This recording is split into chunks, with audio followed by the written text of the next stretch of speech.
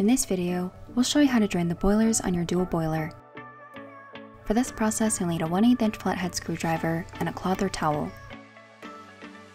Please allow your dual boiler to cool down for at least an hour prior to following the next steps. First, press the power button to turn your unit off. Next, press and hold the 1 cup button, then press and hold the power button simultaneously until your unit powers on. You should see Reset appear on the LCD. Press the up button to navigate to the descale menu. Then press the menu button. The LCD will turn blank, or if you have an older version, you may see the word push on the LCD. Remove the rubber plug labeled descale access. Then place a cloth or towel on top of the tray.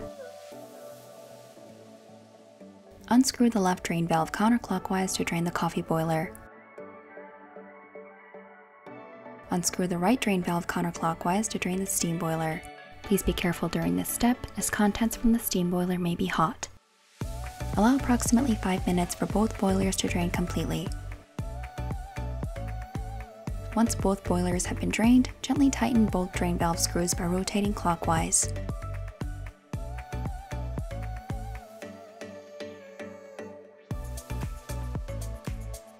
Next, empty and reinsert the drip tray. Reinsert the rubber plug. Remove and empty the water tank, then power off the unit. You've now successfully drained the boilers on your dual boiler.